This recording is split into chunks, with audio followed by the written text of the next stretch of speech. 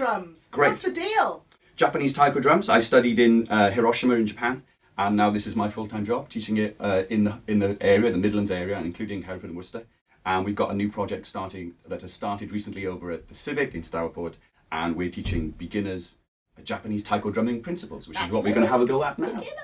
Come on, then what do we do? Okay, do so do? first thing is, if you've ever done any martial arts, what Yes. you need to do is stand with your feet nice and wide apart, so Okay, it's like karate style posture, and then you put your hands out nice and relaxed. It's a Yeah. loose fist grip, and we're going to try and get the shoulders nice and high, and to get a more visual element as well as sounding good. It's look good and sound good. So Okay, great. Mm. arms out in front. So with your best hand, Yeah. put it out in front, big lift, and I'm going to give you a signal with a shout. I'm going to shout, ha! We just try a single beat on the drum. Here we go. Okay. Go on. You try your other hand straight out, same with the side.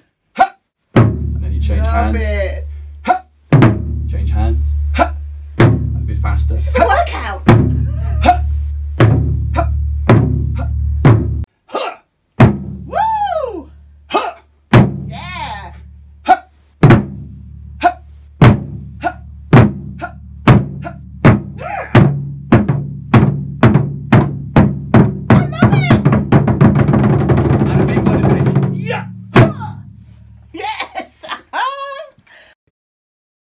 Think we need this done properly.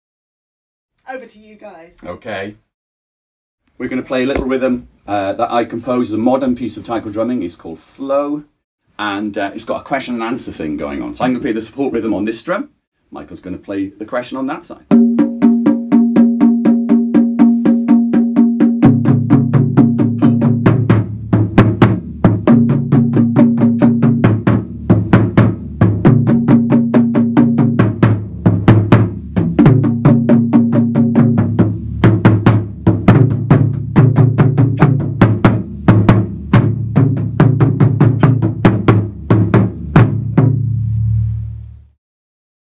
Thank you very much, going team. To, going to, I'm actually out of breath.